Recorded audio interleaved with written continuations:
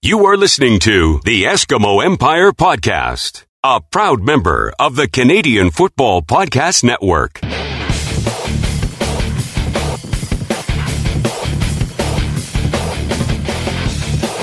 Welcome to the Empire. It's the Eskimo Empire podcast. And here's Mike Reilly, takes the drop, waits and throws, and he's going deep downfield. And Darius Bowman. Oh, oh my goodness, what a catch by Darius Bowman! You won't see many better than that. Franklin to Zylstra, touchdown Eskimos. Pressure's coming. Oh, Levi Mitchell goes down. There's a big play for the defense. Somersaults for everybody.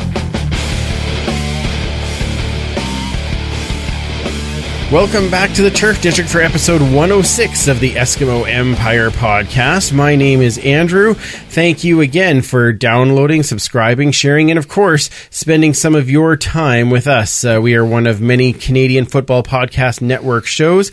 Make sure you check all of those out at CF Pod Network on Twitter. Uh, we have a lot on this show this week as we've got some big Esks news, a new history segment, the CFL scoreboard roundup, our pickums for this week, and we are joined by CFLPA Executive Director and former Eskimo, Brian Ramsay. Uh, but first, bringing the history to life as always, it's Superfan Mike. How are you, man? I'm doing good. It's Excellent. been, uh, yeah, nice to have the bye week, recharge the batteries a little bit, and uh, get on with this last part of the season. Get right back to it, exactly. Oh, and the whole team is here tonight, is uh, bringing the positivity as always. It is web mistress Kayla. How are you? Hey y'all. I love, I love that. That's right. hear the smile. I can hear it. It's so good. Um, speaking of that, um, I think I just want to put out a little bit. I, I don't know. Apology is the right word, but um, you know, our, our regular listeners they they kind of come to expect our honest review of the team, and and we always seem to have fun around it. I know last week uh, the five in a row losses, a last minute guest cancellation, it kind of threw me off a bit. I didn't have the show prepared as usual, uh, but this week we're back to normal, and I'm I'm so glad that you guys are here to uh, chat some more of the CFL. So, did you guys have fun on the bye week? Do anything uh, different? Wow, like I said, just recharge those batteries. Uh, it was nice to sort of just have a, a week to sort of get back and, and enjoying everything about this team and this league that we love so much. Yeah, and, and on top of that, you it, we didn't have the stress of watching a Rams game so that's a good thing. That's a good thing. What about you, Kayla? Well, talk about not having the stress. I was in bed probably about eight eight thirty every single night. I'm- Not a bad choice either. no, no, I was like, I don't have to. Now, yeah, it's Kayla. I, I, I don't want you to be upset when I say this, but Mike, did you take any time playing CFL Frenzy? I sure did. Oh, it's so much fun. Yeah, that's awesome. I'm still, uh, again, t- a surprise to absolutely nobody. Uh, so far, I've done nothing but run the ball. Uh, no kidding. yeah, I've won every game so I've already played. I haven't had a single pass play at all this season in there. And uh, Really? oh yeah, I'm just kicking butt everywhere way. Wow, that's fantastic. I, I the passing did take a little bit of getting used to, but I really I wouldn't enjoy the balance of both. Um, Sure. you wouldn't know.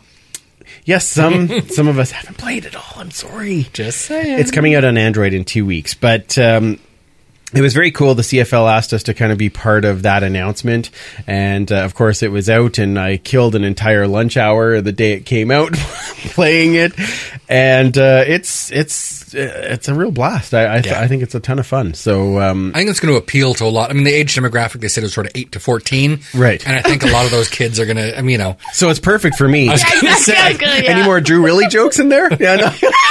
anyway, if only. it was really missed the ball on that one. Oh, Yeah. that was you're welcome.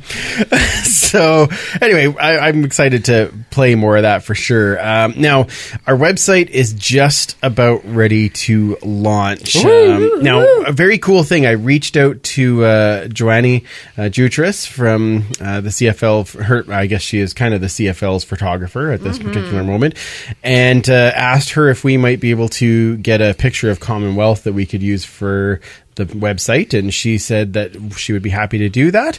And uh, as part of that, I, I just want to um, kind kind of plug her book. Yes. if, if Yeah. you guys don't have it already, uh, make sure you go to johanyjutras.com. Uh, you can buy the book there, and uh, it is amazing. I, I highly recommend it. And I know she's getting down to the last few copies.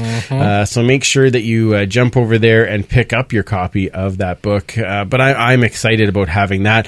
Uh, I, I bet you're excited that it's actually going to launch, Kayla. Oh my gosh, what an inspiration she is. So just to have her a little bit a part of our website, a little tear coming down. That's good. That's Yeah, I'm so excited. a little emotional. That's all right. This is good. Now we do have some big Esks news that we need to talk about this past week. Sure do. which is uh, super exciting. Um, it is the return of the flow. Mister Aaron Grymes signs back with the Eskimos.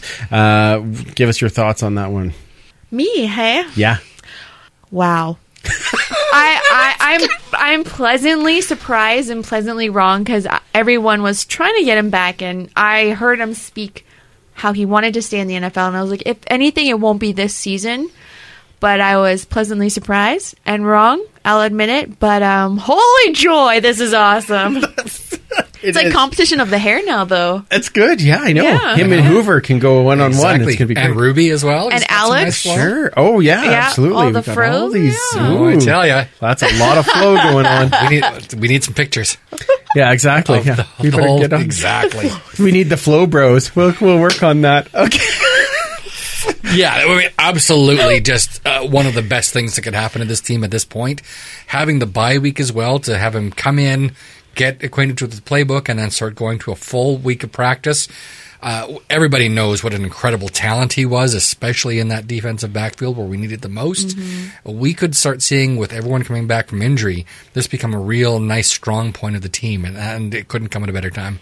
Absolutely, absolutely, and and I mean, kudos to uh, Sunderland for being able to make the deal happen. Yes. especially because he wasn't part of it when Grymes was here last. Uh, Yeah. I mean, he wasn't here, Maas wasn't here, and for Grymes still to want to come back to this community, that's uh, that's says leaps and bounds about the Eskimos in general. But kudos to Sunderland for making that happen. Yeah, the Eskimos in the city of Edmonton. I think Yeah. he really seemed to fall in love with it. I did see an interview with him when he was with the Eagles a year ago, I think, and talking about how um, he really loved this. They talked about his time in the CFL, and he really loved not only the league but the city of Edmonton. And he said he could see himself, if things didn't work out, he could see himself going back there. And it's, uh, I think a lot of us were worried that he might go back to the system he knew better, which would have been Chris Jones. Yes. Um, so the fact that he did choose the city, the team, and his former players, that is absolutely fantastic. and a guy who can play man to man. That's Yes. uh, very exciting. Very me. physical player. Yeah. And keep with his man. Ah, hey, ooh, well, that's very exciting. Um, yeah, no, it's a, I think that's a great thing. Uh, now we we touched on it a bit last week, um, but I think we need to go into a little more detail. Uh, the CFL announcement, of course, to stop the padded practices immediately, Yes. and uh, to increase to an extra buy next year. Um, now, what did you guys think of that in general? Well, and I like the uh, extension of an extra week, um, not just because a it's more football, which we talked about before, that's all right. but also because it's going to get rid of a lot of those short weeks. Yes. So you're going to see your players at their peak more than you know if you have three games in in 14 days, 12 days, whatever, and you're starting to see them really tired by the end of it. They're going to be a lot fresher, uh, less mistakes, hopefully less injuries, and you're just getting your team at their best. Well, and less injuries is a huge thing for us this year, right? Yeah, absolutely. And everybody, the league itself. Yeah. Yeah, Yeah. abs- uh, uh, we're we're acutely aware. The padded practices was interesting to me, and, and I've had a lot of players that have said that that's a good thing. I've heard Yes. a couple that have said that maybe it, it does leave a little bit, but player safety wise, I think it's fantastic. Yeah, I think the struggle that we're going to have is, well, what are we going to do? We can't tackle in practice, but we can't tackle during the game, so I guess it doesn't really affect We're us. consistent. It's one of the things we do best. Yeah. I, I think that it's going to extend players' careers as well. We have had this year players get injured during practice, and Yes. hopefully that'll eliminate a lot of that. Here's here's hoping. Here's Yeah. hoping. Well, uh, of course, that decision was made right alongside the CFLPA. And uh, how's that for a segue for bringing in our guest this week? So uh, let's get to our guest. Uh, he is an O lineman that played with the Esks from 2011 to Grey Cup champ in 2015. He's now the executive director for the CFL Players Association. Number 63 in your program, Brian Ramsay. Welcome to the Turf District, and thanks for joining us tonight. Thank you very much for having me on the sketch. Tonight. Absolutely.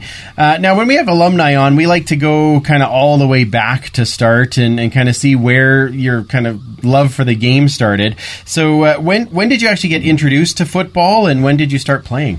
You know, I first started playing when I was in uh, back home in Victoria, about nine or ten years old. And, and growing up here, we didn't have high school football at the time, but we played community ball, and I played with actually uh, a couple players that um, I played against in the CFL years later. Oh, nice. And so my, my first taste uh, of football was uh, community ball here in Victoria around uh, eight or nine, ten years old. Wow. All right. And and were you automatically playing O line, or were you playing, did you get to change a few other positions? Uh, it's, funny, it's funny. Yeah, the position kind of finds you, I guess. And uh, I was at that time with with the smaller numbers. I was uh, offensive and, and defensive lineman, even in that time. So I guess I found my niche very early. That's very cool. Now, I, I know you and I have discussed that you've uh, you're able to play all five positions on the offensive line. Did you have a particular favorite or one that you were drawn to most? No, you know, I did. I think they've all been great. I came into the league as as an offensive tackle, and, and one of the very first things, and, and I think I was very lucky to have this, have some great veteran leadership on a, on a Toronto team when I first came in, and and having gone through college and, and only played the tackle position, you know, it was a bit foreign and a bit unnerving going into my first training camp in the CFL, thinking that I was going to have to possibly switch positions. But I think, you know, putting some work into to get comfortable at, at all those positions earlier on in my career was definitely something that helped me out later. I can remember that first camp in, in Toronto, and Tim Prinzen was actually guest coaching and uh, and taught me how to snap a ball or, or or got me started on, on, on learning how to snap a ball even that first year. Man, that's cool. A man of many talents. uh, now, do you remember joining the Eskimos, and what was your first experience here like for you? I do remember joining. I remember uh, it was 2011 and, and coming in, and I remember um, having played at Commonwealth and, and, and been to the city of Edmonton uh, just for uh, away games earlier on in my career and, and getting into a stadium and practicing at Commonwealth and, and just being in awe of the, the tradition and the history uh, within the city and the stadium. Uh, I, I think it's it's something that you can't not notice as soon as you get in there, and, and to be a part of it and to put the jersey on is definitely something special. Wow, that's that's very cool. Now, of course, in uh, 2015, you got to uh, cap everything off with a with a Grey Cup win. Now, I know you weren't specifically playing in that game, but you were on the field. So, what what was that moment like after the win? No, it takes it takes a bit of time to to soak it in, and and and looking back and reflecting on it, and you know, to be part of a team that that can you know reach the the pinnacle of the season it, obviously there's something special, and you have a bond with those teammates uh, forever. And um, you know, getting a chance, you just realize how many people helped you along the way to get to that point. And it was it was really quick. And reflecting that it was that I that I found that, and um, and I think that was the part that stuck with me is is that you know without sounding cliche, it, it, it really just makes you think about you know your family and, and your teammates and, and, and your coworkers and, and your friends and everyone that sort of helps you get to that point and then being able to share with them. That I think that was the most exciting part about it, sharing with teammates and family and friends and, and that. And it's just, um,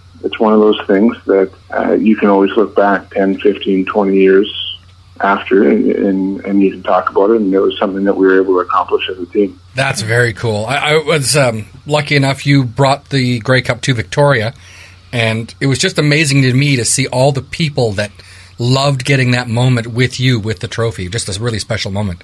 Yeah, I mean that was that was incredibly special. We had the cup in, in town here for 24 hours in in uh, January after uh, January 2016, and and I'll tell you what, that was a jam packed 24 hours. I um, bet. we started the day at the house here, and the kids were ecstatic to wake up, and uh, and and the cup was in the house when they woke up in the morning, and to be able to share with the family uh, bright and early that day. We got dressed and headed for school, toting the cup in hand, and, and got to share it with. Uh, you know, my daughter and her friends at school, and and, and like you said, uh, you know, when everywhere uh, we could to share it with everybody, and, and going back to sort of describing the cup, that was just an opportunity to to share it and and to, to share it, and it was just pretty fun day. Yeah, it was one of those things where you, you, you hope you had a couple extra hours in the day, but uh, you know, you try to jam as much as you could in.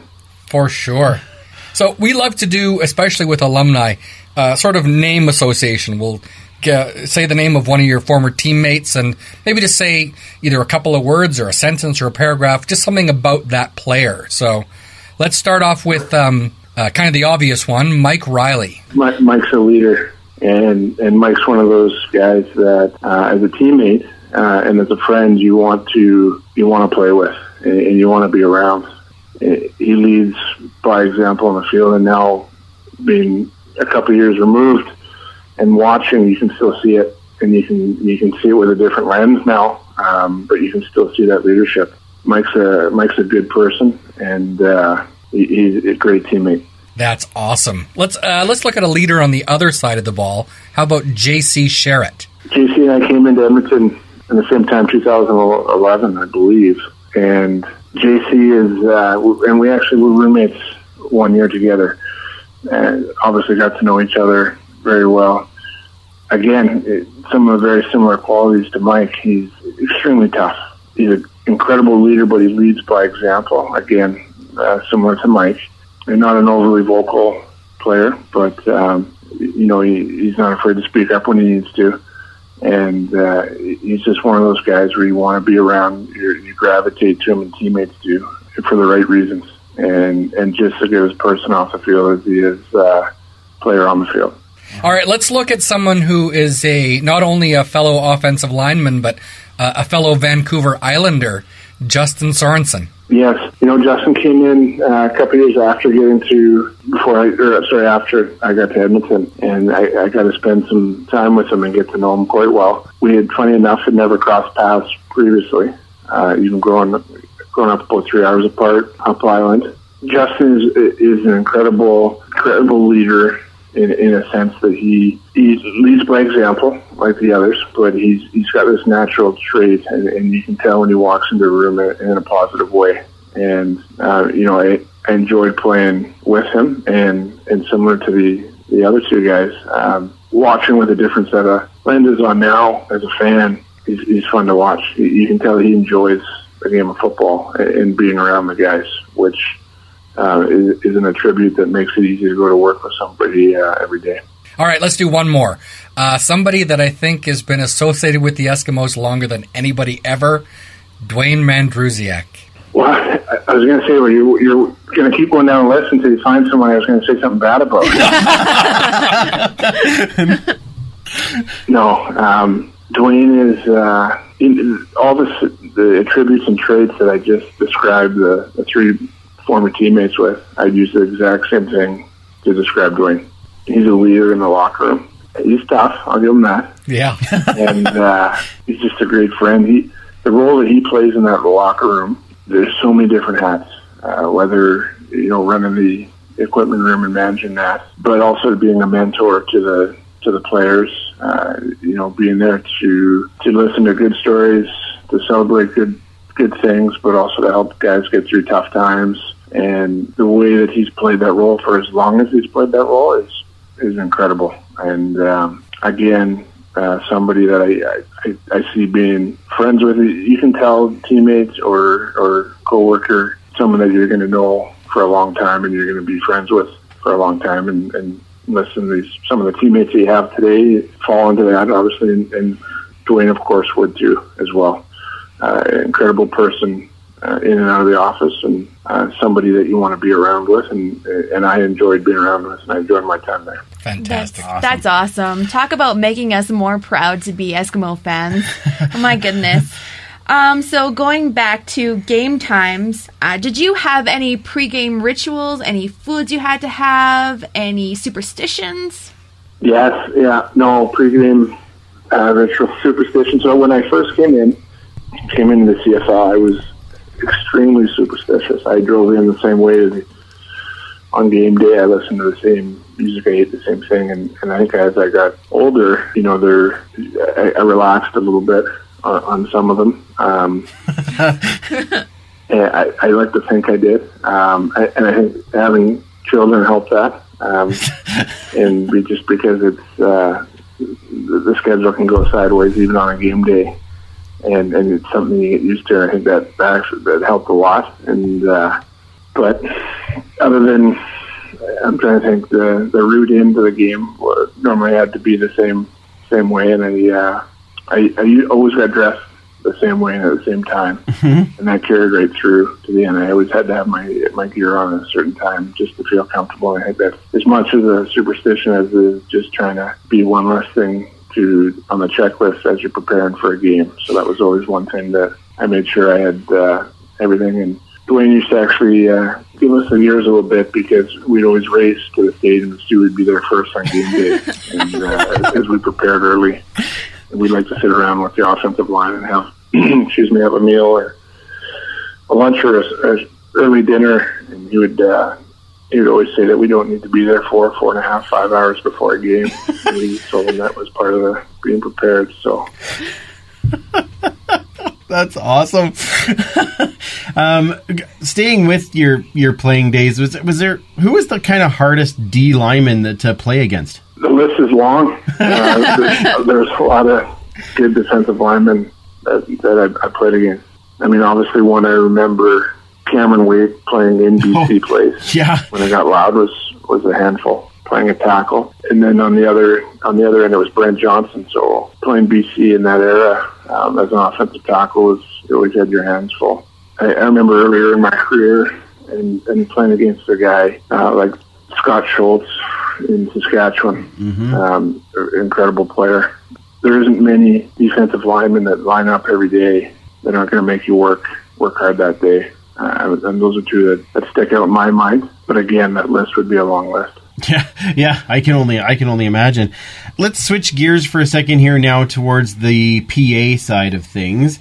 Before we got you on here, we were talking about some of the changes that the CFL has made with no padded practices and and the extra bye week next week. And of course, the extra bye week for us as as Eskimo fans this year, we're exciting because that gives us more healing time. That's be very nice. But what do you see as some of kind of the advantages and disadvantages of starting the week earlier with that extra bye? Well, I think the, the, the two major changes made last week were extremely complementary of each other. Uh, adding the additional bye week is, is in theory going to alleviate, I believe the number is up to two thirds of the short weeks, which is a good thing. Too many games in too short a time uh, is extremely taxing on the players. Yeah. And being able to have those those longer weeks to recuperate and and prepare for that next game is, extremely important. Now combine that with the reduction completely of the full contact practices, I, I think is really going to it's going to make sure those longer weeks are, are recuperation and rest. So I think together those are uh, going to be extremely uh, well received uh, and, and to allow the players to prepare properly in between games next year.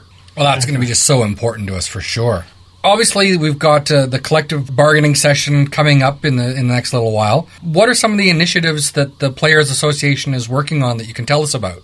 Well, we had uh, we've been very open and, and public about uh, some of the player safety initiatives. Yeah. In the last 12, 15 months, and, and you know, I think there's things as the game of football continues to evolve that we'll still look to address. Bargaining uh, collective agreement doesn't expire until May of 2019, so there, there is lots of time before for those discussions start. But I think you know the priority of player safety is always going to be there uh, right. between now and, and, the bargaining session and beyond. Quite frankly, there's I, I think player safety and, and, and evolving the game are things that that don't have to and they shouldn't have to wait to bargaining. Those are things that if we can identify and whether it's in season like these changes were. Uh, it, it doesn't matter the time if we're able to identify it and, and come up with a solution to potential player safety and betterment of the game, then those are decisions that you should make right now. and um, and having those decisions like last week midway through the season. Uh, I mean that's a positive thing. That's a positive thing that the association and the league can have those discussions in season and, and, and be able to come up with those decisions in season. Yeah, I mean, I think having Randy Ambrosie as the commissioner, someone who's not only been a player but also been on your side of the table with being secretary in the Players Association, is only a good thing for the league. The the lines of communication with Commissioner Ambrosie uh, coming on were, um, you know, have definitely increased, and that's a positive. Um, the relationship between the association and the league, uh, you know, there's a lot of things that um, that the two groups uh, agree on, and, and, for the betterment of the players and for the betterment of the game. Uh, there, there's always going to be the adversarial ones, and that's that's all right. The important piece is to have the lines of communication strong, and, and it's okay to disagree, as long as it's done in a respectful way and, and the communication doesn't cease. And I think that's you know the road we're we're down right now, and that's a positive. It's a positive for everybody, and uh, you, you know as much as we can keep the increased communication and discussions going, um, you know that'll uh, hopefully get us right into as bargaining talks start closer to the uh, 19th season. Yeah, that's an awesome answer. So, how does the Players Association balance representing both sides of two players that are involved in one incident? Okay, that's a great question. I think the processes we have in place, we, we look at the, as an example, the whole play or, or the whole scenario or incident uh, with that mindset, knowing that we are representing both sides in, in every case. Uh, what, what, speaking for the players, um, so that does that does play in into internal discussions. The structure we have, uh, the communication from the executive to the player reps into the locker rooms, the advisors, the team that we're, building out and we have built out uh, are in place to be able to have those internal discussions uh, when we're faced with you know circumstances where potentially we're looking at two sides, both players, and uh, and those are discussions that we have quite regularly in, internally, and, and how best to represent both players and how best to represent the group of players collectively. That that's awesome. I I, I actually want to ask you: Is it is it different now with you being on the PA side when you are dealing with players that you played with? Because you're really not that far removed from having played. No, and that's that's a great point. I think it's been extremely helpful with the transition to have those relationships, and you know, obviously some closer than others when there's former teammates involved, um, but also with it being a small league and you know having played against if I haven't played with, I've played against most uh, in, in, the league, and to have those relationships when we walk in to do our team visits, or if there is an issue or there's a conversation that needs to be had, it, has been extremely helpful. But I also, you know, I'm I'm a believer too that being able to understand as, as best as I can in this role, being a former player and, and, and trying to put myself in that player's shoes, whatever the circumstances are, uh, I think is extremely helpful. And I think it's helped us, you know, grow as an association with those strong, again, coming back to communication and having that ability to communicate with the members. Uh, with that, our executive does an incredible job as well, having those strong relationships and our player reps.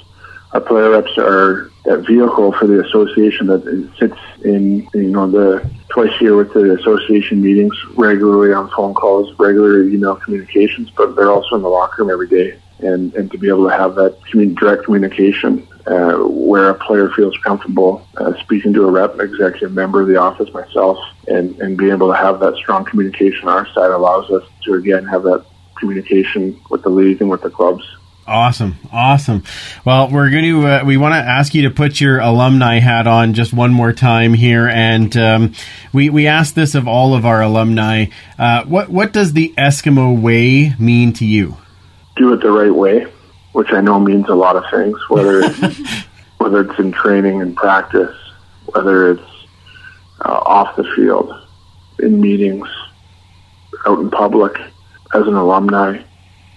It's and if you do it the right way, it's an extremely strong uh, group that you, you, can stay part of for a long time. This is my first year uh, out to a game in Commonwealth since playing, mm-hmm. and being able to get into the alumni lounge and, and see there and talk to the talk to everyone in the room and whether they're you know a few years removed like myself or 15 20 25 30 years removed there's just a collective unity and you can see that they still do it the right way and that's one of the first questions we talked about on the call tonight was come first coming and to, to Edmonton and, and seeing the tradition and the history and the city and the stadium and, and the organization.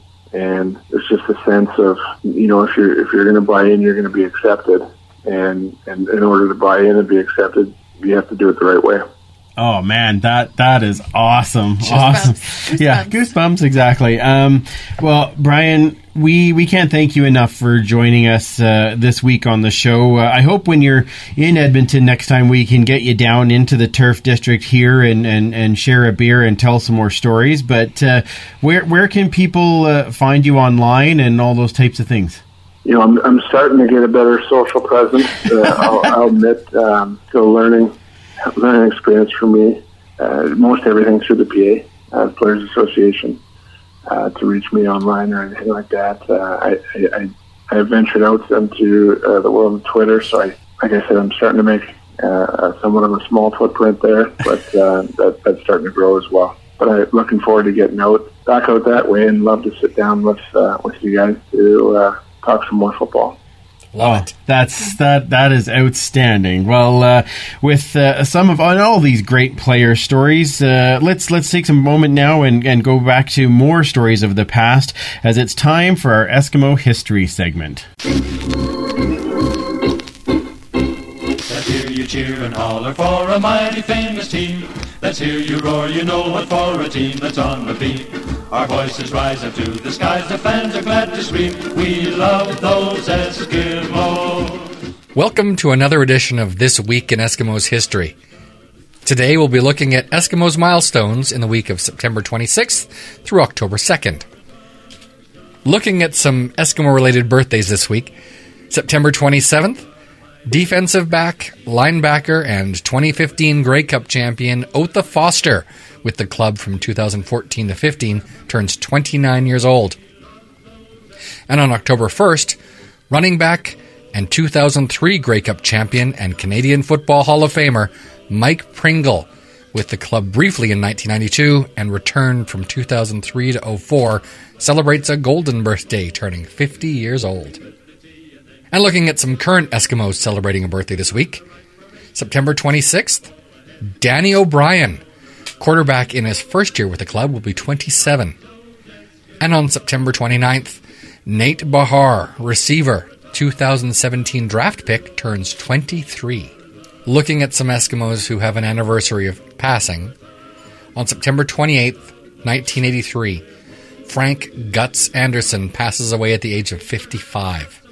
Frank Anderson was a two way player with the Eskimos from 1952 to 1957, playing guard on the offensive line, but is most known as a five time All Star at end on the defensive line. Anderson was one of the first alumni of the University of Oklahoma Sooners to join the Green and Gold, and one of their best, earning the nickname Blood and Guts for his take no prisoners play on the field, later shortened to just Guts. Anderson played in the newly minted Eskimos 1952 Grey Cup three years after they were formed, and was a key member of the 1954 to 1956 Eskimo Grey Cup winning dynasty. He was posthumously enshrined on the Eskimos Wall of Honor in 1985. Looking at other important dates in the history of the Empire, we pick a couple of games versus Calgary. Going way back to October 1st, 1921. Edmonton scores the largest margin of victory in Canadian football, downing their rivals to the south by a score of 72 to 2. Only once in the game did Calgary even gain positive yards, measuring 6, as both lines for Edmonton dominated the contest. Calgary's only points came on a pair of rouges after kicks to the deadline were their only offense after being roundly stuffed, while the Eskimo touchdowns were scored by early Edmonton legends Curly Dorman with three before injuring his leg in the second quarter, Jimmy Enright, Bill Rankin, followed by three consecutive majors by the legendary Vic Yancey and Miles Palmer scored one to end the third. The Eskimos finished off the scoring in the fourth with another major from Bill Rankin, and Jack Fraser became the third Eskimo to score a hat trick of touchdowns. While the names may have been forgotten now to all who cheer for the modern incarnation of the Eskimos, this was the first Western team to compete for the Grey Cup at the Dominion Championship that year. The 13 touchdowns scored by one team remains a record for major scores in a game, as does the 70 point margin of victory. The Eskimos dominated all teams in the West in 1921, outscoring all teams by a combined score of 148 points to 5 over the three games played that season. And lastly, September 28, 1975. In front of a sold out crowd at McMahon Stadium, Edmonton goes into halftime down 29 to 2 versus the hometown Stampeders. Calgary halfback Willie Burden had a pair of majors in the first half and had more left in him, and the Edmonton faithful were understandably resigned to the fact that the game was already long out of reach. Edmonton defensive back and returner Mike Fink had other ideas and returned the third quarter opening kickoff 81 yards down to the Calgary 6, which quarterback Bruce Lemmerman finished off with a strike to Stu Lang 48 seconds into the second half. After missing out on the two point convert, Edmonton's defense stopped the Stampeder offense, and the Esks started their second drive of the half as they worked down the field. And again, Lemmerman capped off the drive with a touchdown, this time to John Konihowski, which moved the score to 29 15 after Dave Cutler kicked through the convert. Belief rippled through the Edmonton bench, and the Eskimos had a third touchdown drive late in the third with a 16 yard pass to Calvin Harrell, followed by a Cutler field goal to have the green and gold outscoring the red and white 23 0 in the third frame. Calgary showed some signs of life as Willie Burden pushed through the line for his third touchdown partway through the fourth to give the home team a 36 25 lead with 10 minutes left in the game. The kickoff after this score went to future Hall of Famer Larry Highbaugh, who weaved his way down the field, running 92 yards before being dropped at the Calgary 14 yard line, from which Calvin Harrell romped to score a second major of the evening, and quarterback Bruce Lemmerman rushed himself for the two point convert, bringing the score to within three points with just over eight and a half minutes left. Dave Cutler's 171st career field goal, tying the CFL record set by former Stampeder Larry Robinson, knotted up the score at 36 points apiece with two minutes remaining in the game, and Calgary took the ball on their own 35. Two plays later, Calgary fumbled the ball on a third down gamble on their own 43 yard line, giving Edmonton possession as they drove down 33 yards to the Calgary 10 with 14 seconds remaining in the game.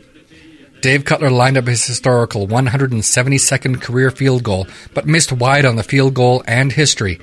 However, the kick went through the end zone to soften the blow, giving the Eskimos an improbable 37 36 victory. Edmonton would go on to win the Grey Cup that November, their third attempt in as many years, and their first win in 19 years since the days of Parker, Kwong, Miles, and Bright. Thank you again for listening to another episode of This Week in Eskimos History. Please follow us on Twitter and Instagram at Esks History, or find us on Facebook under This Day in Esks History. Until next week, fight on Eskimos.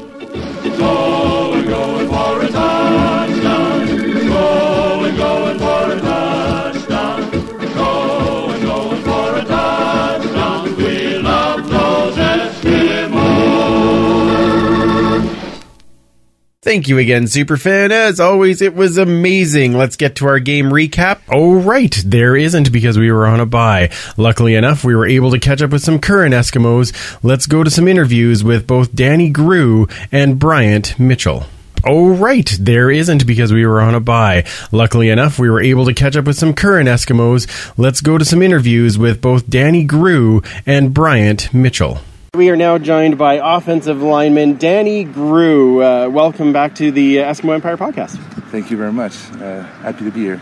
Absolutely. And uh, now you're just coming off a bye week. How was the bye week for you? Did you get a chance to get away and get a chance to uh, kind of have a break and rest up? It was great. Yes, uh, I was with my girlfriend, so we stayed here, went to the mountains. We got some fresh air. It was uh, no, it was actually good for my body. Now I'm ready to go. It was good. Uh, we stayed in Edmonton a little bit as well. We just enjoyed enjoyed the, the week, and now we're ready to go. Awesome. I think you've been out to the mountains pretty much every bye week that you've had the chance. What is it? Do you really like it out there?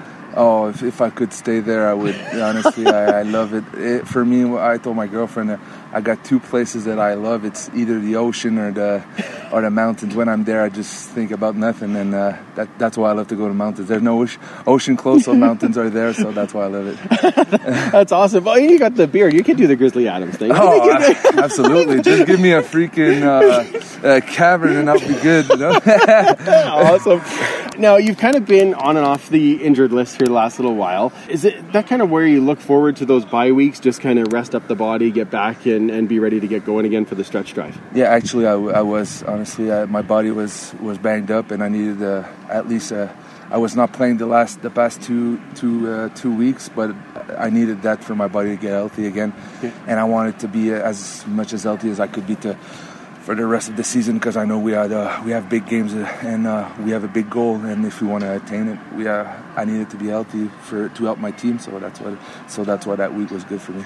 Awesome, and, and we're excited to have you back because we need that nasty back on the line that you bring. That's fantastic. Tell us a little bit about your experience since being drafted in Edmonton. It's been three years here. Uh, of course, your first year went rather well, but uh, what, what's been the full um, experience for you here? So yeah, just like you said, it a great cup. My first year was awesome. Yeah, and uh, honestly, my my my second year, I, I actually broke my fingers. I was out the, the most part of the season. But Yeah. I still enjoyed it the most. I learned. I like being around those guys, and honestly, just the city where it's real different from where I'm from. So it's something different, and I love it. I love it all. Love the fans, love the organization, and uh, since I'm here, I've been uh, welcomed open arms, and uh, I love it. Oh, that's that's fantastic. Now, do you have a couple spots in the city that you like to kind of hang out? Yes, absolutely. Uh, I like to hang out at the pint with the O line. Nice. Uh, we we often go to Tres Carnales. It's our Oh, little, yeah. uh, little uh, restaurant place on day three. And we, uh, when my girlfriend is here, we kind of go to uh, some board cafe. I Oh, we like that. We like to play games and uh, boards like that. And we always go to movies, so we love uh, hanging out in the city, just going to the. Uh, on White Ave. I, I live on White Ave, so I love to go walk on White Ave and stuff like that. Oh, that's that's Yeah. very very cool. I'm a board gamer myself. So, Yeah. do you have a favorite? Do you have a favorite game you like playing these days? Uh, we bought we bought uh, we don't have a we have a couple board games right now. We had uh, we bought a Game of Thrones uh, board game. Nice. We, we like this one. I have the like the old board games like Clues and stuff like that. but we usually now we play uh, uh, Exploding Kittens. You know Of that? course, yes, we it's play- awesome. We play this Yes. one because my we got two cats at home. My girlfriend loves cats, so I bought this game uh, for her, and uh, she loves it. And uh, we always play it together. We love it. It's, it's good. I have the not safe for work version. We'll have to play it one day. I'm yeah. sure it'll be a blast. Now let's just kind of get to know you a little better overall. So, um, do you have a favorite movie? Lord of the Rings. Ooh, Yes. nice pick. I'm a I'm a big Lord of the Rings fan. This weekend I just went to the comic comic expo. I think Yes, was in yeah. uh, Edmonton. Yeah. And I met Gimli, the actor who plays Gimli, John Rhys uh, Davies. Yeah. And I got him signed a picture, and I was Awesome. I was freaking out. I was so happy uh, to meet Gimli. That was one of my favorite characters. So yeah, that's my favorite movie. Oh, that's fantastic. I was just at the expo too. Did you see any anyone else or meet anyone else or go to any panels? We did uh, go to the cosplay, the, Oh, the, the, yeah, the yeah, cosplay comp- uh, competition. My girlfriend loves that. She would love to do cosplay one day, and I, and I, I, I told her, hey, go ahead if, if you if you want to do it, we'll we'll do it. I, I- I don't care. I like it. And uh, she was she we didn't met them, but she saw the Stranger Stranger Things kids. Oh, She- nice, She, she, yeah. she wanted to see them so badly, and uh, we saw them. I was quite happy to see the guy who created uh, Captain America as well. One of the uh, who did the comic book Yes. we saw him too and uh, no just walking there i love i love those places it's such a you go back like uh, 20 years younger and i love those those kind of things. You things could totally be the mountain. oh I- she, she that's what she said she said she said we could do a cosplay of you being the mountain being a zombie and i'm like yeah, that could be that could be good I, I think I think you'd be pretty good as Groot. yeah, yeah as well yeah as well i, I would i would i am groot Did you was there? Uh, yeah Yeah. that's Yeah, him that too was yeah amazing. that was Yeah. awesome Oh, Yeah. that's very very cool. Okay, what do you? Uh, what's your favorite food? What do you like to eat? I like a lot of. There's a lot of things I like. I would say um, pizza. It's it's a common thing, but I mean, there's a pizza place in Quebec City. Me and my girlfriend always go. It's our special place. It's uh, Chic Alors. It's called like this. Oh. It's their homemade pizza. It's so good. I, lo- I love pizza. Ooh, that sounds wonderful. When I'm there next, I'll have to. Oh, uh, yeah, I'll have yeah, to check that out. awesome. Absolutely. Do you have a favorite book? I read The Lord of the Rings, so I, I kind of loved The Lord of the Rings. But I, I, I read a new book uh, not a long time ago. I read the the biography of uh, Bill Romanowski. Oh, nice. NFL linebacker. Yeah. Used to be an NFL linebacker, and his, his biography is incredible. And it's it's the stuff he says in it. It's it's kind of uh, impressive, and uh, you realize that it's a tough game, and Yeah. you went through it a lot, and that's what's cool. Do you have a favorite NFL team, favorite player of all time from the NFL or CFL? Yeah. When I was young, because I was from, uh, I grew up in Sherbrooke, close to Montreal. I grew up watching uh, Calvillo and all those. Nice. So, so that's why I go in the CFL, and that that that's why like I, I was supporting the Als, but I'm not supporting them anymore. but uh, Good choice. Yeah, Good choice, And yeah. uh, NFL. Um, when I was young, my favorite player was Brian Urlacher from the Bears, and Nice. uh, and I, I liked uh, uh, Jake Long, O line from uh, Miami Dolphins. But my favorite team when I was young was Bears, Chicago Bears. Oh, awesome, awesome. Now, we always we ask a couple of questions. If you had an hour to talk to anyone, live, dead, or otherwise, who would it be and why? There's a lot of people I would love to talk to, talk to. but uh, I would say um, I would love to talk to uh, Conor McGregor. To Nice. Ask him what's up? Yeah. what's going on? Uh, there's a couple of person, uh, for sure, dead people as well. I mean, there's so many great people that lived and uh, had an impact in our lives. That uh, a, pre- a, a live a living person would be Conor McGregor, and after that, I mean. I don't know. It could be a political person. It could be anything. I, I don't know right now. That's okay. That's okay. Now you've been here for three years, so uh, I think you've had enough experience. What does the Eskimo way mean to you? For us it's bone you know it's Yeah. uh, the brotherhood of nasty eskimos It's Yeah. been I, I got i got coached at laval by a guy named mathieu bertrand Yes. and he played here for nine years. And he told me everything about the eskimos before i, I came here. And it's absolutely what he said. And it, and i understand what he means. And it's that's a family.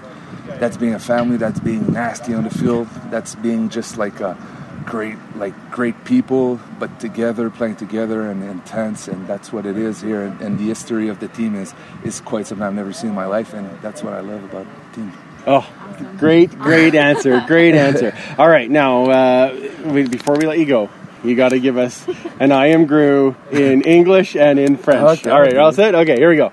i am Gru. Nice. Je suis Gru. that is fantastic. Uh, thank you so much for joining us, man, Uh, and uh, we'll hopefully have you back on in the future. my pleasure thank you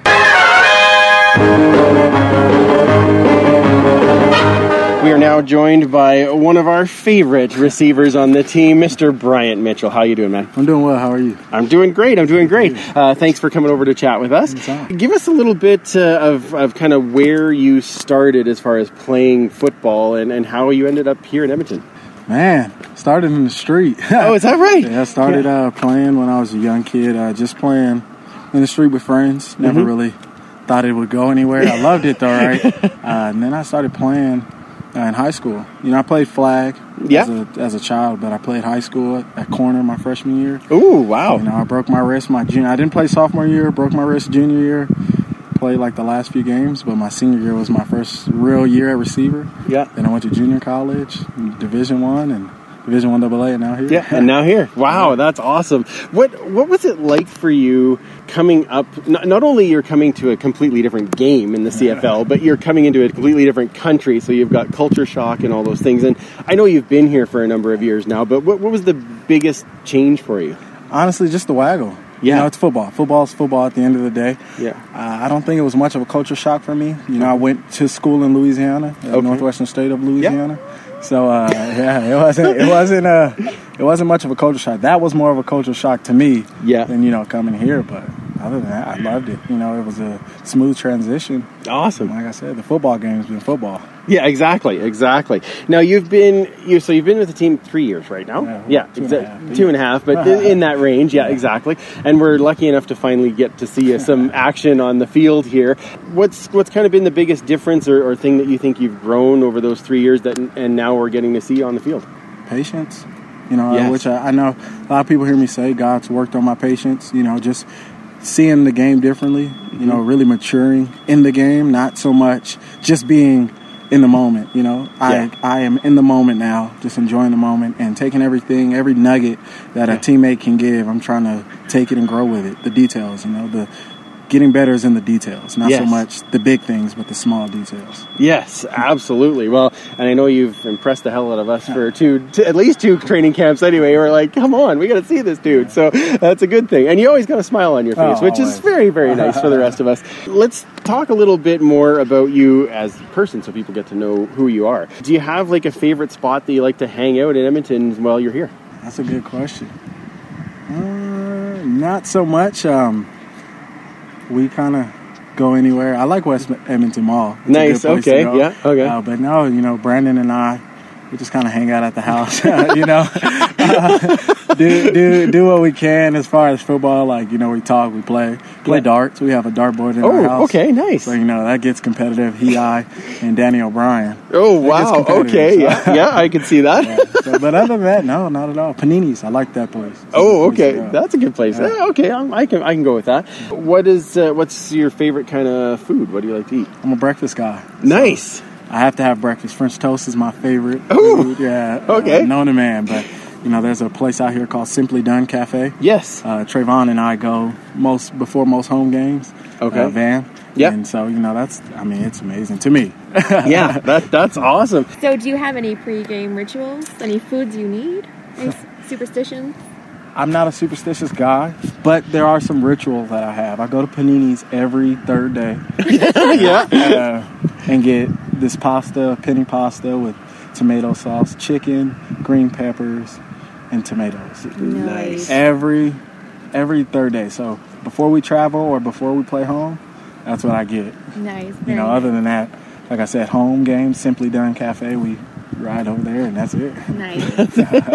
It's not not such a bad thing. No, no, well, no. this can be on or off the record, depending how you want to do it. Okay. But I know you and I share the same faith, and I just wonder how you balance that in a world that maybe not so faithful. How do you stay strong in your faith? So uh, I'm really connected, you know, when it comes to my church home. That's good. Um, I got a lot of men that are really strong in their faith who, you know, I can call on whenever I'm struggling or, you know, I'm not feeling so faithful. So Yeah. that's definitely something that, you know, James and I talk about a lot, you know. Uh, James is strong as well. So, you know, you keep people like that around you, you know, and you limit the times where you're in a world of unfaithfulness, right? Yeah. So I try not like I, I don't party, I don't smoke, I don't drink, you know, anything like that because I know what it leads to. yeah, So absolutely. try to just you know stay as far away from what I feel like could hinder me or tempt me.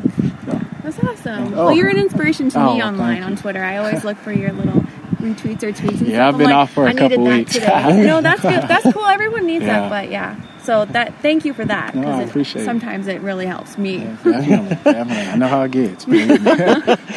And now you're, but you're really strong in your family too. I know, like during the bye week, you were back seeing family Oh, and things like that. Like, how often do you get to see your family now that you're way up here? Oh man, so I every break I get, I try to go home. Yeah. you know, I don't really care how much it costs. I mean, I do, but you know, Yeah, what I get what you mean, yeah. I try to spend as much time with them. I got three little boys. Yeah. uh, you know, King, who's my oldest, he's six. Uh, his real name is Amari. I just call him King. Okay. and then uh, my twins, I have two twins. They're two. Okay. uh, Caleb and Cameron. So Yeah. my three boys, and you know, I try to see them as much as I possibly can. You know, but any bye week, any four days, I'm most likely going home. Okay. Yeah. Well, that ma- that makes sense. I mean, I've, I've got three myself, so I know Oh, exactly hey, what that's like. You got to be around, and if, when you're around, then they know who you are, right? so that, that and it keeps you connected, Definitely, right? Absolutely. All right, let's go to some fun questions. Do you have a favorite movie? Bad Boys too. Bad. I know, wow. I- you know, it's funny, but it's been one of my favorite movies from a young age. Oh, that's uh, I love it. That's love it. fantastic. Favorite book? Right now, I'm reading this book called No Excuses by Brian Tracy. Okay. Right now, that has to be my favorite book. Right now. Yeah. All right. That's uh, that's Yeah, fair. That's fair. When you're hanging out at home, do you are you a gamer? Do you watch Netflix? Do you do anything like that? I'm not big on TV. I'm Okay. not. I'm not big on games anymore. Yeah. I mean, once I start having kids, it's, it's hard to start playing. Tell me about it. But uh, I mean, I love games. You know what Yeah. I mean? I love. I love Netflix. Uh, I was watching the Marvel Daredevil series and. Defenders. And Yeah. Jessica Jones, Luke Cage, Yeah. uh, Iron Fist. So uh, I'm big on superheroes, as everyone knows. Batman. Yeah. You know, I watch The Dark Knight. I try to watch that before games too. Ooh, that's a Uh, good so one. yeah, yeah. I try to. I try to get that in whenever I can. But yeah, That's that's me. oh, that's that's fantastic.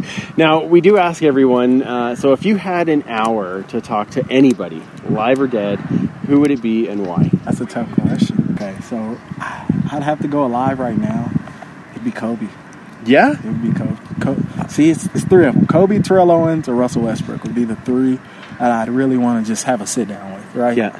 But I'd be, I don't know. I, am taking all three. That's I know, okay. I know That's that's, okay. a, a, out of side of the question, but I'm taking all. I didn't say you couldn't have a panel. Maybe you could have a panel of three. That- that- I'd be okay with I'll that. definitely take All right. three. All right. Now, what does the Eskimo way mean to you?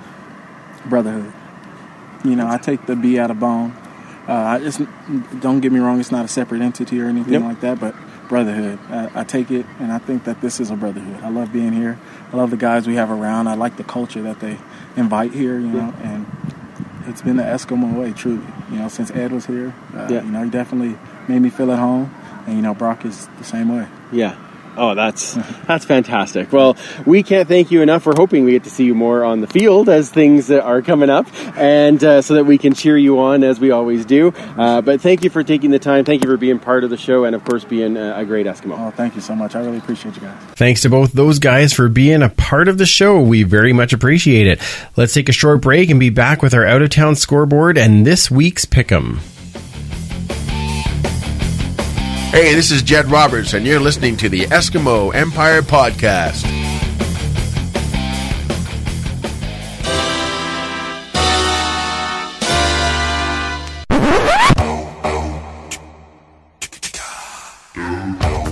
Hey guys, do you know there's even more ways to interact with the Empire online? What? That's right. You can find us on Twitter at Esk Empire Pod, on Facebook under the Eskimo Empire Podcast group, on Instagram at Esk Empire Pod, and you can also follow us on YouTube under our channel, the Eskimo Empire Podcast. Now, I know you guys like that Eskimo history segment, right? Yeah! You can follow more of that information at Esk's History on Twitter, and you can find it on This Day in Esk's History on Facebook. Don't forget to share, okay? Okay! Thanks so much for listening. Let's get back to the show.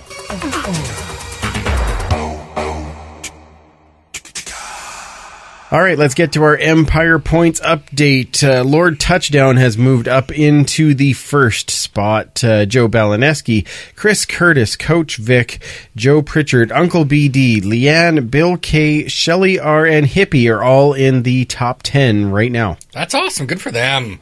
Don't forget, of course, every Empire Point can be gained by uh, sharing the podcast on our various social media networks, uh, or leaving an iTunes review, or generally just making us laugh. Always gets a few extra points. Yeah. Extras, Yeah. yeah, exactly. Top 10 in a draw for the choice of a game worn Shamawd Chambers jersey or a signed Adarius Bowman jersey. Absolutely, and lots of ways to get those points, and we will do that draw after I get back from the Grey Cup. Very exciting. How exciting! All right.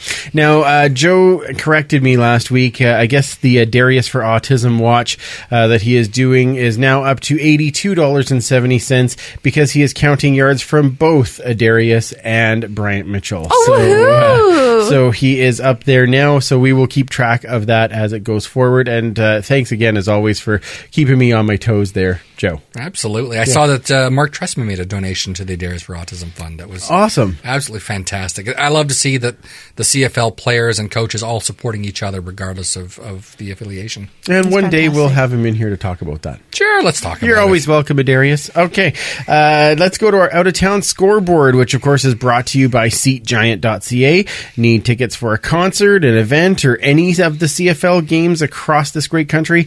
Head to SeatGiant.ca where you'll find tickets for anything, and it's all in Canadian dollars. Now, superfan, would we make our loyal listeners pay full price for those tickets? Heck no, that would be bull. Absolutely. Uh, find your tickets that you wanted. Use the code Fire Trucker. and uh, that'll give you a discount. Uh, definitely helps out the show. And all you do is get the tickets for the event you were already looking for. Easy squeezy.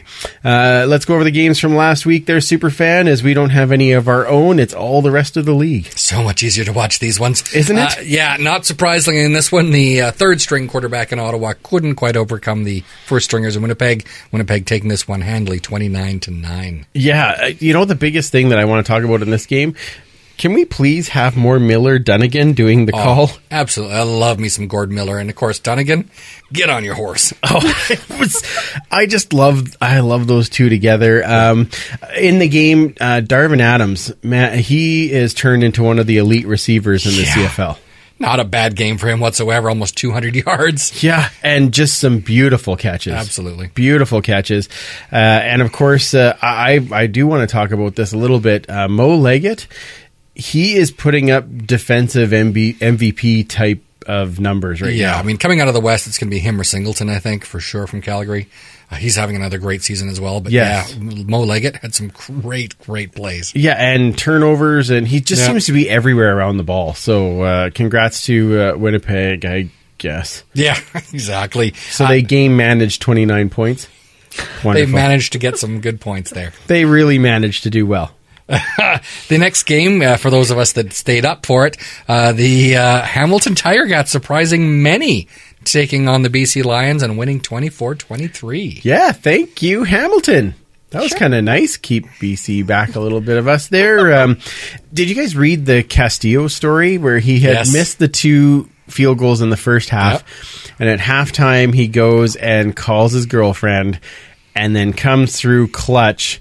And what a huge kick at the end of that game. Absolutely. She is the real hero of this game. I can tell Absolutely, you. absolutely. Somebody at the Tiger Cats office is saying, "Can we just sign her and take her to all the games?" Because Well, after missing those and had coming on nearly a 50 yard field goal attempt at the end, I don't know how many people are thinking, well, here we go again. He hasn't made the other two, so. yeah, and hammered it. Yep, The power of a woman. that's right. so true, so true. Um, one other thing I just want to say with uh, the Tiger Cats, though, uh, Alex Green makes his debut at running back, and man, did he have it! He looked amazing. Green Machine. Oh, I like th- that. Sounds a little too Saskatchewan for me. Well, I hear you. I think that um, was I reading that Josh wants to call him greased, but uh, yeah, I don't know. That's really going to work. I don't know. It's not catching on so far. Not Sorry, so Josh. much, yeah, but uh, man, yeah, he looked he looked pretty good. Yeah, he did, and I think part of it too is uh, there's a lot of talent on that BC team. I think that it's just a lot in their heads right now, especially Jennings. He's he, he seems like he's a bit snake bit. Well, they can't seem to finish in the red No. zone either, right? Yeah. Like it's so it's Sounds Doesn't sound- yeah, just gonna say that sounds so ironically familiar. Not anymore. Not anymore. We're gonna finish this strong. That's right. Uh, then, of course, uh, the uh, third game this week, we had Toronto Montreal. Toronto taking this one uh, by a couple of touchdowns, 33 19. Which uh, really flatters Montreal as far as I'm concerned. Yep. But uh, Wilder Jr. Whew, Sets a Toronto Argonaut record for uh, most yards in a two game consecutive game series. So. that yeah, he is on fire. And um, now the interesting thing to me, Montreal scored more than Ottawa. Yes. Isn't that crazy? Didn't really see that coming.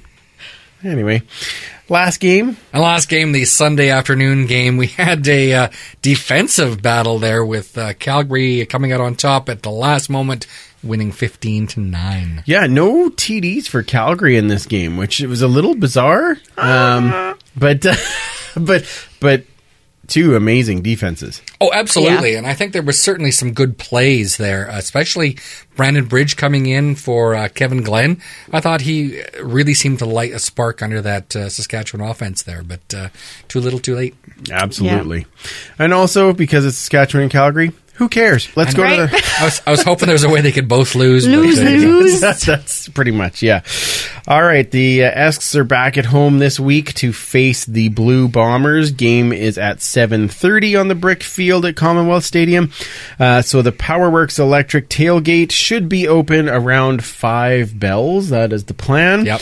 Uh, let's talk about this game a little bit. Uh, what are the keys to the game for the Eskimos to get back in the win column? Uh, let's start with you, Kayla.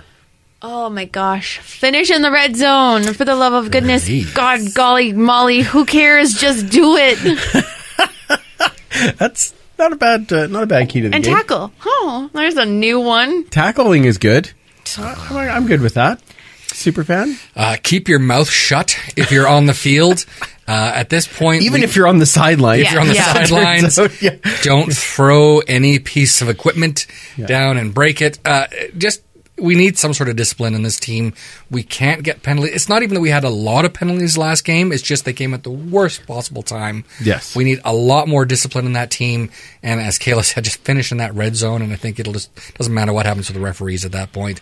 We can take care of our own. They need like a little rant tent on field so they can like go in and throw a Cone hissy of fit. silence. Yeah, and then come back out and finish the job. You know, in my in my son's class, they have uh, what they call the uh, the Oscar chair, and they can go sit grouch. in the uh, the Oscar chair, which is then it, it it is surrounded by cardboard, so that they are all kind of in. And when they are having those types of moments, it is good to go sit in the Oscar chair so that you don't feel like you need to snap on your classmates. Let's invent the hissy hut. I, I, I don't mind this. I think we got to TM that sucker right away. I think Yeah. so. Yeah, we better get Get right little on that. tent out there. Hashtag Hissy Hut. Yes, and please. Uh, we're happy to be uh, part of the coaching team.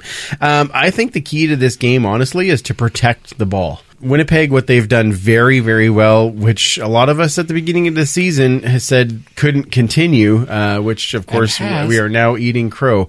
Uh, they did, uh, they did continue to take the ball away more than they gave the ball up. Yeah. And I think if we can find a way to at least keep that turnover battle even, it helps us immensely in this game because Winnipeg is very good at capitalizing on those opportunities, but if they don't have the opportunities, it does make it a little more of an even game. So Yes. protect the ball, protect the ball, protect the ball. And uh, as, you know, because it wouldn't be right if I didn't say it, let's get a return that gets us up to at least the 40. oh boy. Well, I think that Trayvon Van did very well in return this last game, especially for that first game back. So I'd love to see him extend on that. Absolutely. And Absolutely. call the headshots. Why not? well, let's see. Let's hope for that. Let's hope there isn't one to call. That- oh, True, that'd be even that's better. better. Yeah. Thank you. Yeah. Uh, all right, super fan. Who are you going to be watching in this game? Welcome back to the team, Mr. Aaron Grymes. Hey, Aaron, where are you? Where is A. Aaron right now? Absolutely. Uh, I mean, we've seen a lot of struggles, especially with the injuries in that defensive backfield. It's going to be great to see someone of his caliber back there. Absolutely. Kayla, who are you watching? I'm gonna watch for my guy, hopefully on the field, Bryant Mitchell. Let's have a return. All right. I, I can't say I blame you at all. Who would? Yeah, exactly. uh, I am going to be watching our defensive line this game. I think they're going up against one of the, if not the best offensive line in the league right now. And one of the best ways to uh, kind of get towards having a win is to get Matt Nichols off his game. So Please. Euclid Cummings, Almondo Sewell, hopefully John Chick now coming back with a bigger game, uh, Kwaku, of course, and Odell. Uh, it is time to get after that quarterback and uh, make sure that you're getting on top of it. Uh, Andrew Harris is a known Eskimo killer. Uh, let's throw them both off their game by putting some pressure in that backfield. Mm-hmm. Okay. Yeah, I'm down with that. Wonderful. All right, let's get to our pick 'em for all of the games this week. Uh, of course, you can join the group uh, with the link that we regularly post. Uh, leaders this week are Hugo Agogo, C. Vincent up into second, T. Lee into third, TXA 2002 in fourth, and Thomas Pine is back up into fifth. We're getting about the same as always there, Superfan. Actually, I think I we're moved into the 16 top, and 18. top 10 or something at one point, but I don't know where I am now. No, no, I, I saw 16 and 18, so that's Oh, that kind of about we're, we're we're staying consistent. Uh, and as uh, if you haven't seen it already, go back and check out the Periscope as we showed uh, some swag that we got from the CFL that will be part of the prize for the winner in this year's Pick'em. So we'll make sure that we get that out to you. A really really cool kind of hoodie T-shirt with the Eskimos on it. So our first game this week, Saskatchewan versus Ottawa. It's in Ottawa. Superfan, you're up first. Oh, I think until we start seeing uh, uh, Trevor Harris come back, uh, it's going to be tougher to pick Ottawa right now. Again, that whole East versus West has been just so lopsided, and uh, uh, you got to know that Chris Jones has got those boys really ticked off after the loss this uh, this last week. So it's going to be uh, Green Riders. All right. Kayla? Unfortunately, I would have to agree. Yes. I have to pick the Riders again this week. Oh. Yeah, I, I w- I would actually say that there's probably some people who are licking their lips in the fantasy department with this particular game. I'm Yeah. going to say that uh, Saskatchewan does find a way to pull that one out, as they say. Pull and pray. With that defense, A defense they're is playing starting their stride. well. So Yeah. Against against likely a, a third, maybe second string quarterback, depending on where that ends up. Yeah. Uh, I don't see Trevor Harris coming back this week, Not so yet. that's that's going to be a, a bit of a rough go there. Montreal is the next game versus Calgary, and it's in Calgary. Should we all just say it at the same time? Stampeders. Calgary. Yeah, all right, fine. Next one, uh, Toronto versus Hamilton in the Hammer. Uh, that's going to be up to me to pick first, and I am going to go with the Argonauts in this game. I believe that they will uh, uh, continue playing as well as they have the last couple of weeks. Uh, I, I feel that Wilder is going to still keep going, and uh, there's a, a big opportunity again for uh, Green to start putting up some yards if they can keep Ricky Ray on his feet. So I'm going to go with the Argos this week in Hamilton. Uh, I'm actually going to take Hamilton in this one. I think Oh. June Jones has really turned that team around. They are believing in themselves, especially after that win in BC. And, uh, you know, with Wilder, they got a couple of games with the tape on him. They hopefully for them are going to figure out a way to maybe stop him and, and force them to, to do it through the air. Unfortunately for them, it's Ricky Ray, who's a future Hall of Famer. Uh, but, uh, no, I think Hamilton takes this one in a bit of a surprise. All right. I would have to agree with Mike. I was going to say the same thing about them believing in themselves. Now having that win away Mhm. was a big one, especially in BC. Um, but at home with their fans, and their fans are getting pretty pumped right now. Oh, absolutely. I'm going to have to say Hamilton. Hamilton. Yeah. Hashtag Hamilton proud. All right. Lovely. Dwarp. Dwarp. Yeah, exactly. And then, of course, the late game on Saturday Winnipeg versus the Edmonton Eskimos here at Commonwealth Stadium. Superfan, who do you got in this one? Uh, I'm actually going with the Eskimos in this one. We've had a couple of weeks off. We're seeing some people coming back. Uh, I just have a really good feeling about this particular game.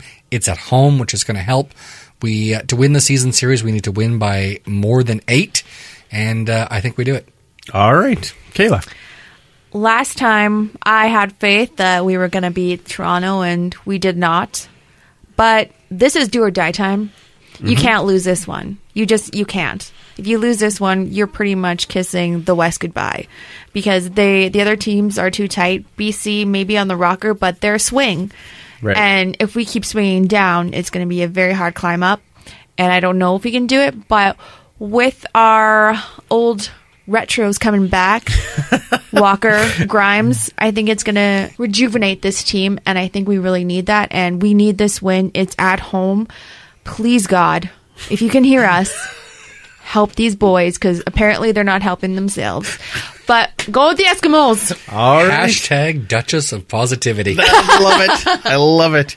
Um, I am. uh, I'm going to be the opposite this week. I am going to go with the Blue Bombers. Uh, the last couple of weeks that I have watched them play, they they're firing on all cylinders, and they have very little in the way of injuries to worry about. So that consistency is really starting to show with this team. Fie on you. I know, uh, lovely. I know. Uh, Weston Dressler is going to be likely out, but I believe that they are just, and uh, of course Westerman on the defensive side, but they are just connecting on everything right now, and I.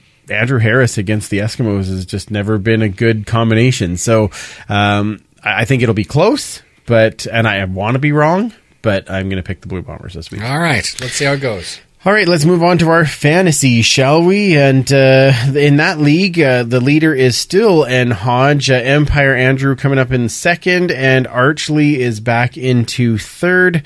And we've got a couple of people who are right behind there in fourth and fifth. So you can join us in the Eskimo Empire Pod League or the Canadian Football Pod Network uh, against all of your favorite podcasters. Uh, Kayla, do you have a fantasy player pick for this week? Is it too, too obvious to pick Wild? No, not at all. Not at all. No, not at all. I would say that that's not a bad pick. yeah, that's the only one that's really jumping out. I wonder why. I wonder. Yeah, He's going up in value, I'm sure. Yes. Uh, I'm going to go with uh, Roy Finch in this one. Oh. Uh, Calgary versus Montreal. I think Montreal's be punting the ball a lot. Quite likely. him a lot, uh, a lot to work with there, so he could get you a lot of points. Absolutely, absolutely. And uh, I am going to go because I just said it. Uh, I think you pick Andrew Harris this week. Uh, we've had a hard time stopping the run, and uh, he is a dual threat. So uh, I'm gonna I'm gonna go with uh, Andrew Harris in this one. So we know who to put Aaron Grymes against. Yeah, well, I, whatever. Does it, does it get Young off the field? I'm quite happy. whatever, whatever. La- yeah, Ladler on uh, on that. That's fine. That's fine. On Harris? No. Uh, we'll. All right. Well, we've reached the end once again. Uh, thank you, gang, as always, for uh, being a part of this. Uh, tell everyone where they find you on the interwebs. At Duchess Lombardi Blah. for Twitter and Eskimo Empire Podcast on Instagram. Wonderful. You can find me at 56 Parkies and the history segment at Esk's History. Perfect. And you can find me at Esk Empire Pod and at Free Policious. Thank you again to Brian Ramsay for joining us on the show. And of course to both Danny Groulx and Bryant Mitchell.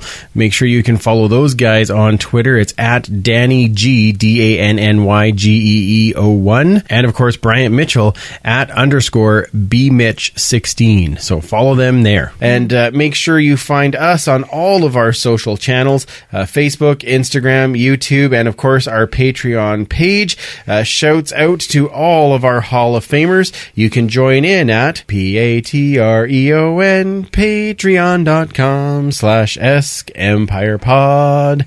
Uh, of course, help the show there where you can. Uh, the show is back next week, and it will be back on its regular Monday night, and we will be joined by the one and only Terry Jones. Uh, so we're we're kind of building up in the pods to the pod sweeps week that will be kind of third week in October. All right. Well, will the week off give the guys time to get refocused? Absolutely. Are we excited to see the return of Grymes to this defense? Absolutely. And is it time we as Esks fans leave a game happy again? Absolutely. For Webmisters Kayla and Superfan Mike, I'm Andrew. Remember, you can't catch footballs with your face, and we will absolutely talk to you next week. Thanks for listening. Find more great shows like this at CF Pod Network on Twitter.